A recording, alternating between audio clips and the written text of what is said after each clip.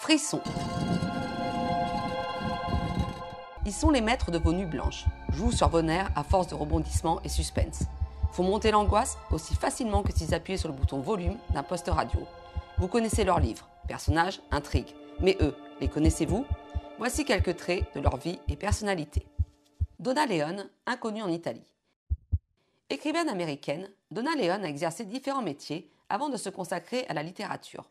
Ce n'est qu'à 50 ans qu'elle commence ainsi à écrire des romans policiers et crée son fameux personnage, le commissaire Brunetti, désormais aussi héros d'une série télévisée. Passionnée par l'Italie et son histoire, elle a été guide à Rome, elle a vécu plus de 30 ans à Venise, dont elle connaît les moindres recoins. C'est là qu'elle publie en 1992 son premier roman, Mort à la Fenice. Auteur de 28 livres, traduits en 20 langues, seuls nos voisins transalpins ne connaissent pas ses romans. Afin de préserver son anonymat quotidien, elle refuse en effet qu'il soit traduit en italien.